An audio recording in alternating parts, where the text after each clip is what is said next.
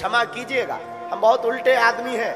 मंच पर वही आते हैं जो सम्मानीय होते या नेता होते या अभिनेता होते या रुपया वाले।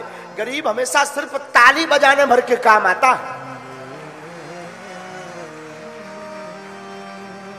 बहुत कड़वी बात है, लेकिन क्या बताएँ, हमारी भी मजबूरी है। मजबूरी ये है कि अगर नहीं बुलाएँगे, नहीं उनको माला चढ़ाएँगे, नहीं उनको पटकी डालेंगे, सीताराम नहीं करेंगे, ये पंडाल कौन लगवाएगा?